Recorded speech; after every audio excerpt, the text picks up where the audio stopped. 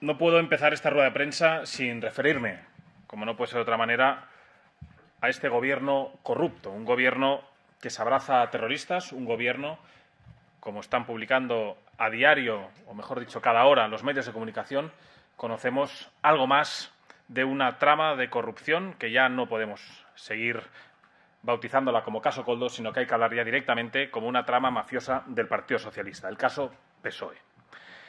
Ante esta realidad, no entendemos cómo Pedro Sánchez no ha dimitido. Debe dimitir de manera inmediata y debe marcharse lo antes posible.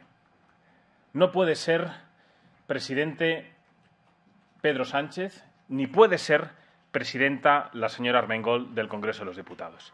Estamos ante un gobierno que permanentemente está pactando, hablando, negociando entre imputados, con imputados, con fugados, con investigados. Es decir, es un gobierno que está chapoteando entre un caso de corrupción entre delincuentes que requiere, como he dicho, de la inmediata dimisión de Sánchez y de todo su gobierno.